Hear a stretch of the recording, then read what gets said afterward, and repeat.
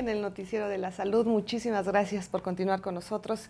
Y bueno, vamos ahora a nuestra siguiente cápsula. Esta sí es muy alarmante, doctor. Ahora una mala noticia. Ahora una mala noticia. Pero, pero qué bueno que ya somos miles y miles que no comemos nada horneado, nada, nada frito. Nada asado. Así que no nos preocupe esa noticia, pero a usted sí le preocupa. Seguramente, vamos a Al público sí le va a preocupar mucho. Una dieta rica en productos animales expuestos al calor seco y muy alto, o bien, si son fritos, horneados, asados o a la parrilla, aumentan el riesgo de desarrollar la demencia tipo Alzheimer y diabetes tipo 2 al provocar resistencia a la insulina. Un estudio realizado por la Escuela de Medicina y Candemont Sinaí en Nueva York demostró la presencia de altos niveles de glicotoxinas en sangre de las personas carnívoras. Las glicotoxinas son sustancias que se producen al cocinar productos animales expuestos al calor seco a muy alta temperatura, o bien si son fritos, horneados, asados o a la parrilla. Estas glicotoxinas aumentan el riesgo de desarrollar la demencia tipo Alzheimer y diabetes tipo 2 al provocar resistencia a la insulina. Se hicieron dos tipos de estudios, uno con ratones alimentados a base de una dieta rica en glicotoxinas, en los cuales se observó la acumulación de proteínas animales en el cerebro, las cuales causaron daños en las funciones cognitivas. Los síntomas y los cambios observados en el cerebro de estos roedores son distintivos de la demencia tipo Alzheimer.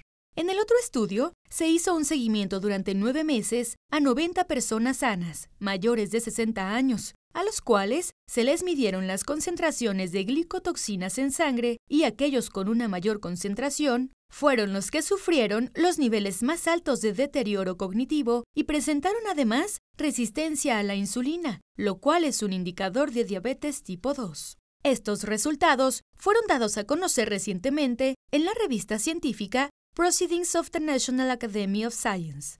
La Universidad de Nottingham de Inglaterra también dio a conocer recientemente que los alimentos ricos en proteínas y grasas de origen animal, como la carne, el queso y la yema de huevo, son muy ricos en glicotoxinas cuando se cocinan a altas temperaturas, y la concentración es proporcional a la temperatura. A más altas temperaturas, mayor concentración de glicotoxinas.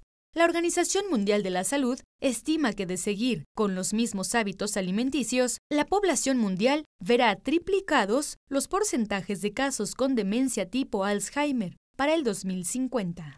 Pues ahí usted tiene sobre la mesa la información y bueno, pues está también ya a consideración de cada quien, pues si decide tener una dieta así, doctor. Pues tan común y tan de todos los días para mucha gente tan de todos los días comer alimentos fritos, horneados, a la plancha, y, ahora se demuestra que produce Alzheimer. Porque antes se sabía, se sospechaba que la dieta carnívora producía Alzheimer.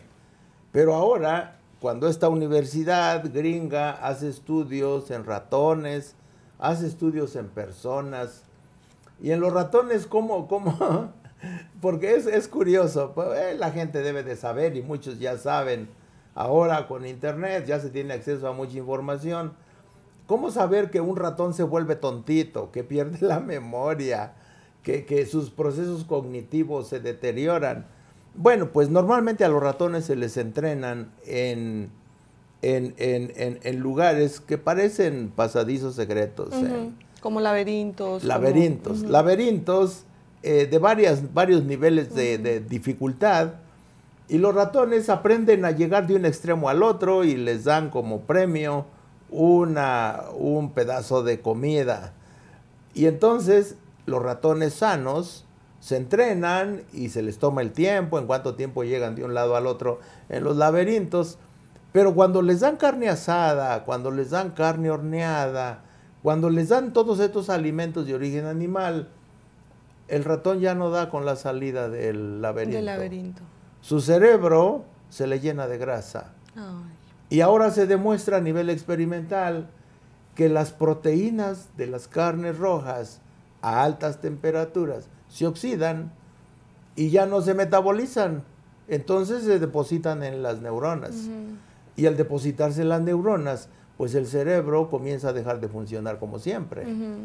Y entonces los procesos cognitivos, procesos de aprendizaje, de memoria, procesos de razonamiento, se estudian ratones y se deteriora.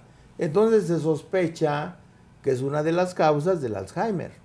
Entonces se hace un estudio en personas, se hace un seguimiento de personas, se les dan de comer estos alimentos de origen animal, fritos, horneados a la plancha, a la parrilla, y, pasa lo mismo que en los ratones.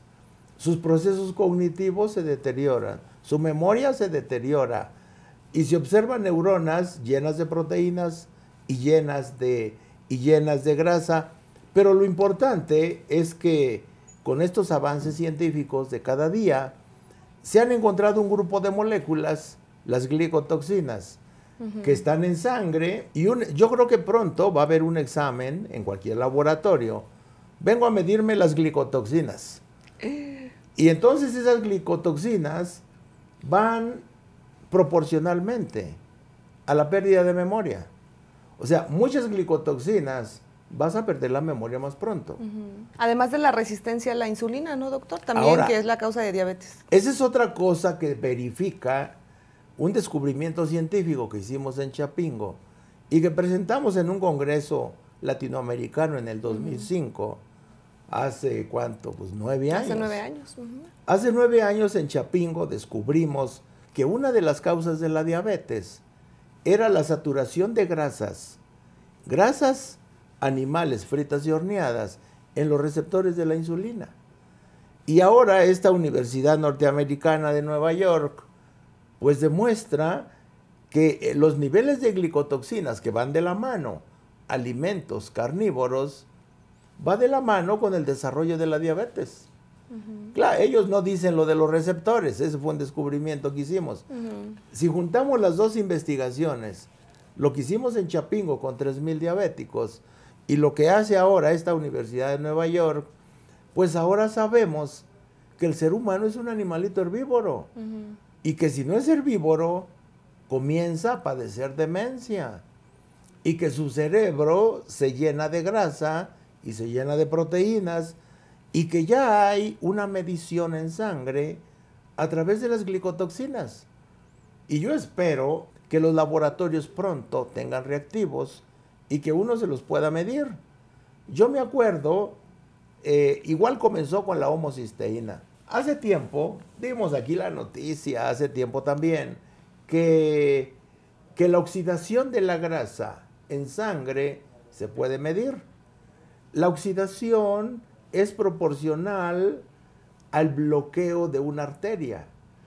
La Secretaría de Salud nos dice, el 80% de los mexicanos tienen las arterias parcialmente tapadas, el 80% se comienza a estudiar este proceso y se encuentra que el primer biberón de leche, así como lo oye señora, el primer biberón de leche de bote, de leche de vaca, de leche de la farmacia, comienza a tapar las paredes de las arterias, a depositar placas de grasa con calcio. Y, pasan los años y a los cinco años, una investigación inglesa nos dice que el 30% de las arterias están tapadas. Están tapadas. Y no han cumplido cinco años. No. Y los más sanos tienen tapadas las arterias un 10%. De 10 a 30% antes de los cinco años de edad. Bueno, las investigaciones avanzan y se llega a que se encuentra una sustancia en la sangre que mide la oxidación de la grasa. Ahora ya tenemos dos sustancias. Tenemos las glicotoxinas, que van de la mano con los niveles de pérdida de memoria, niveles de taponamiento de venas y arterias y niveles de bloqueo de los receptores de la insulina, las glicotoxinas. Ya anteriormente, la homocisteína, de la homocisteína ya hay pruebas de laboratorio. Ya podemos ir ahorita, señor, señora, podemos ir a cualquier laboratorio, mídame la homocisteína. Si la homocisteína obviamente debe de ser cero, pero si está entre un 2 y un 4%, hay mucha oxidación de la grasa. Oxidación de la grasa quiere decir las arterias se están tapando. Bueno, pues qué maravilla saber todo esto, porque los carnívoros que se sienten muy saludables, que les encanta comer leche, carne y huevo, pues mídanse la homocisteína. para ver qué tan tapadas tienen las arterias. La Secretaría de Salud dice, tienen tapadas las arterias el 80% de la población, o sea, casi todos. Somos vegetarianos nomás como 20%. Bueno, pues ahora, ahora esta investigación que nos llega de Nueva York nos dice, hay otra sustancia, las glicotoxinas. Las glicotoxinas. Pero esta mide el bloqueo de los receptores de la insulina, que, nosotros no sabíamos cómo medirlo. Ahora, bueno, ya las glicotoxinas. Nosotros lo que hacíamos con los 3.000 diabéticos con que comenzamos la investigación, pues le dimos la hierba de sapo, limpiamos los receptores y se redujo la necesidad de insulina y se controlaron los niveles de glucosa, limpiando los receptores. Ahora sabemos que el problema se verifica nuevamente que grasas de la yema de huevo, de los quesos, las carnes rojas y más si son procesados, jamones, eh, salchicha, todos queso esos de puerco, queso de tocino. tocino, todos esos productos bloquean los receptores de la insulina, se desarrolla resistencia a la insulina. Cuando el diabético está enfermo le inyectan insulina y no le bajan los niveles, porque el problema no es la insulina, son los receptores. Ahora sabemos que, se puede medir a través de las glicoproteínas. Ahora sabemos que la oxidación de la grasa se puede medir a través de la homocisteína. Ahora sabemos que el que toma leche se le tapan las arterias. Ahora sabemos que el que come huevos se le tapan las arterias. El que come carne se le tapan las arterias. Pero ahorita nos dicen, pero además se les deposita grasa en las neuronas. Además se les deposita proteína de origen animal. digo, ya, ya, ya, ¿qué necesidad para ser carnívoro? Ya hay tantas, este, ya hay tantos resultados que dan que la carne es malísima. Malísima. Y bueno, falta nomás completar con todas las investigaciones de cancerología que demuestran que produce cáncer. Imagínense demencia, diabetes, cáncer, hipertensión, aterosclerosis, embolias, trombosis, infartos, angina de pecho, migrañas, varices. Todo eso produce la grasa de origen animal. Y bueno, por eso nos volvimos vegetarianos y por eso le damos toda esta información. Pues porque queremos un México de gente sana.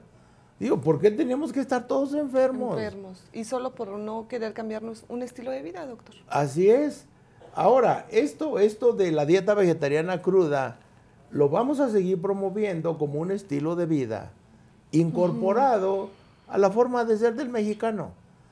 Mucha gente, yo me acuerdo cuando comenzamos en agosto, Dice, pero ustedes están locos.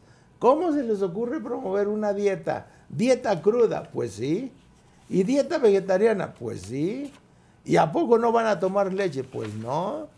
¿Y huevo? No, no, nada de origen animal. Pero entonces, ¿qué les va a pasar a ustedes? Pues nada.